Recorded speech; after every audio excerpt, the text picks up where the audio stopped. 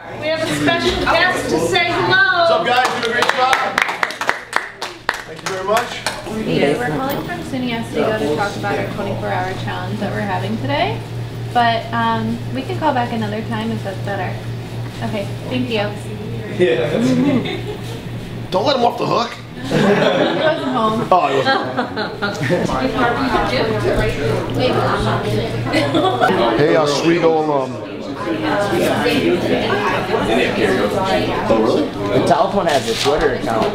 If these people call you, give them money. Next one who won't give any money, put me on the phone, okay?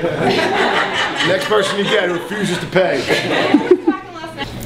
Hey, I just want to say thank you so much for donating. Appreciate it, you got it. Thank you very much. See that?